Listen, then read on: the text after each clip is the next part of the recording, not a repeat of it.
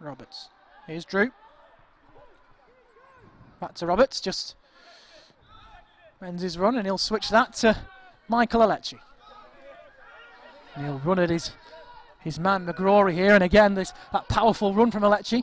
Ball into the middle, oh, it's flicked oh. on, and it's two! Brilliant ball from Alecci on a plate for Harvey Bradbury, his second of the game, and it's 2 0 to the Hoops. Yeah, it was a nonchalant flick, really, wasn't it, by Bradbury? But lovely ball by Alecci.